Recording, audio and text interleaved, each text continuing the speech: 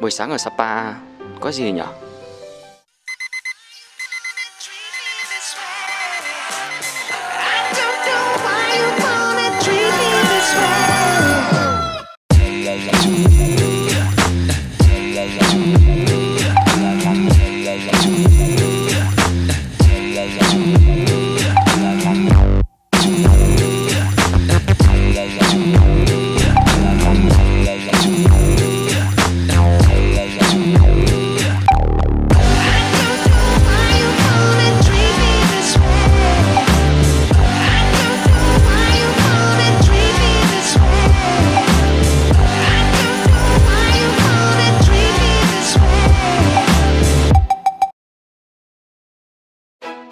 Xin chào tất cả các bạn của Phương Lực Kỳ ngày hôm nay.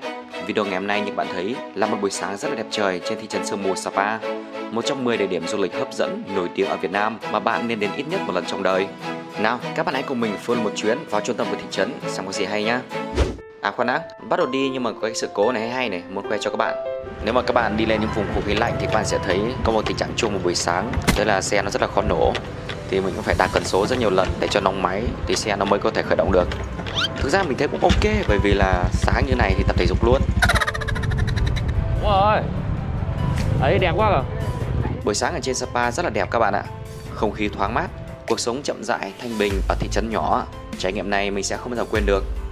Nếu như bạn có dịp ra miền Bắc chơi thì nhớ lên Sapa nha. Mà có lên thì cũng cố dậy sớm như mình để có thể thưởng thức cái không khí rất là lạ rất là đặc biệt mà chỉ Sapa mới có nhé Thôi chạy ra chợ Sapa kiếm cái gì ăn đã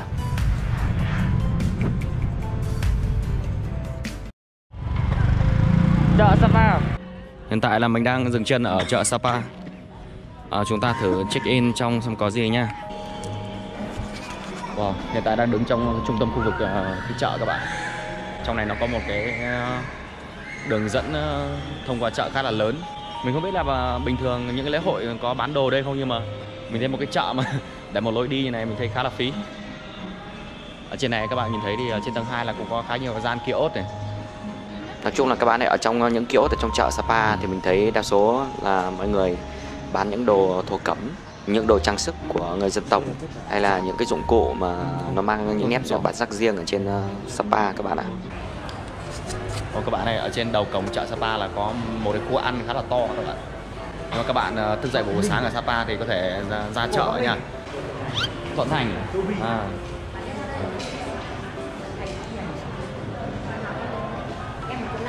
Thôi vào ủng hộ người Bắc Ninh ấy nhỉ? Con Bắc Giang. Hay không này? Ở trên này. Trên Sapa. Không phở Đây là cái gì nhỉ? Ờ, đấy? Tràng đúng không? Đây là cái tràng lợn. Lòng non này. Và đây là cái bộ uh, trứng của cái con uh, gà mái. Bác ơi làm cho con một cái đĩa này. À nhầm, một cái bát phở. hai bát giống nhau nhé bát phở nhưng mà nó có cái này này. Rồi con thì ờ, không ăn giống đó còn là cái trứng này. Cho nó hành trần vào nhá. Với cả Vâng. có phở gì nhỉ? Phở bò phở gà phở mọc phở chả. Gà. không bao giờ được luộc tặng này. Kèo cước này. Cước là cái gì? Kèo ngon đấy kèo của nó ngon đấy. Thế cho con thập cẩm hai cho các bạn ngắm nhìn ờ, quanh một ờ, vòng khu ờ, vực ăn uống ở trên chợ Sapa. Chỗ này thì mình thấy khá là sạch sẽ nhá. Quầy ăn nhìn cũng chuyên nghiệp đấy thì nữa đưa các bạn ra đây nha ra chợ nông sản của người ờ, trên Sapa nha. Chúng ta phải ra đây vào buổi sáng các bạn vì chợ nông sản này là hoạt động ờ, nhiều nhất là vào buổi sáng. Vậy có nhiều nông sản người dân người ta mang ra ấy. Thì ờ, bây giờ chúng ta ra ăn sáng cái nha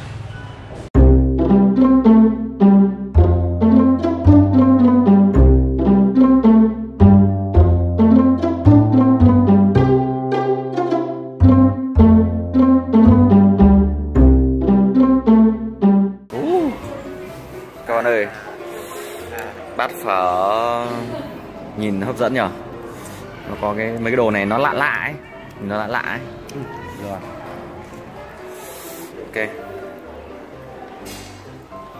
Nó dùng khá là trong nhở?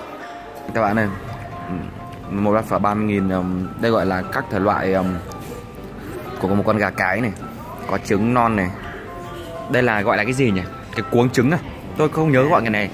Cuống tràng trứng. Á mình không nhớ cái này gọi là cái gì đâu Đây là mè này Cái này cũng thế mình thấy khá là ok các bạn ăn nó lạ lạ hay hay ừ.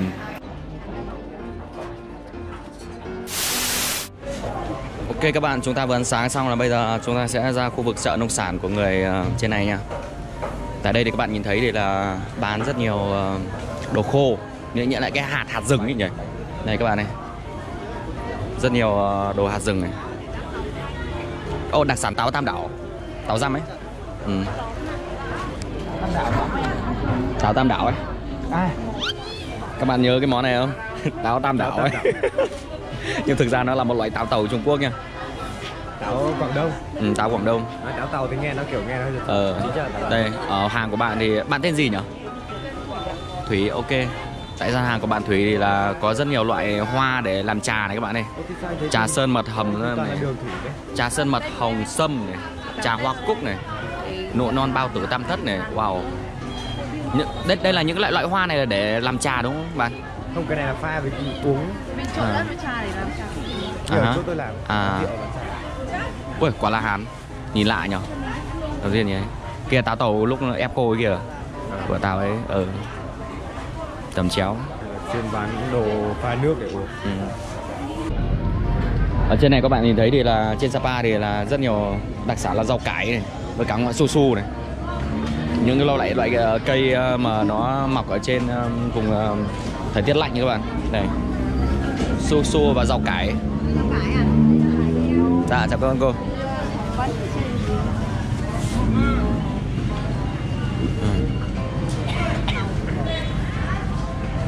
Anh mình uh, khả năng là uh, khả năng ra lấy xe chạy ra nhà thờ. Ok các bạn, bây giờ mình sẽ đưa các bạn ra một trong những địa điểm hot nhất ở Sapa nhé, đó là quảng trường trung tâm.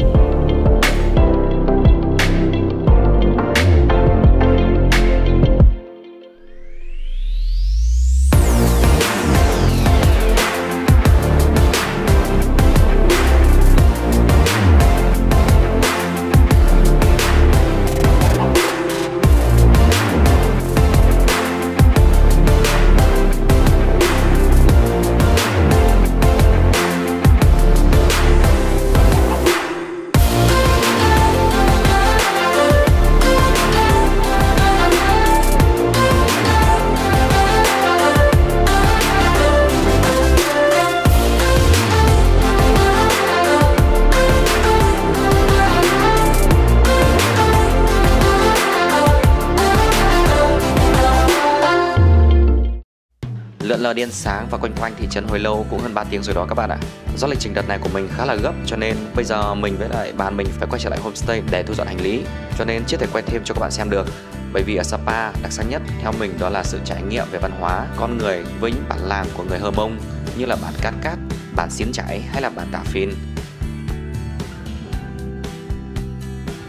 Đây là homestay mà mình đã ở nha các bạn này. Ờ, ở đây khá là rẻ, chỉ có 5-6 nghìn một người trong một đêm thôi rất ok. Tại số 2 Nguyễn Trí Thanh nhá. Ở trên thị trấn Sapa các bạn ơi. Vừa hôm qua bọn mình book.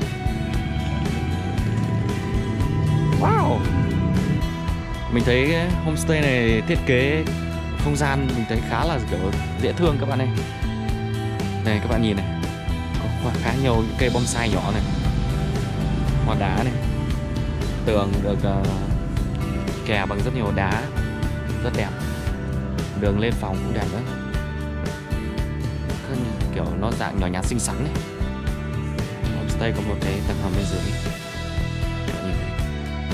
Họa tiết trên tường thì được trang trí cũng rất là lạ mắt.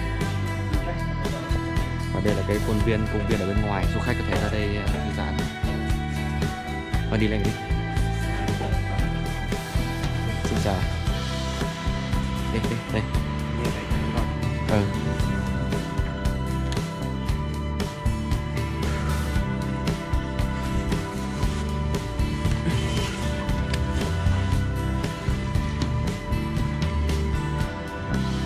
Công kiểm tra đồ công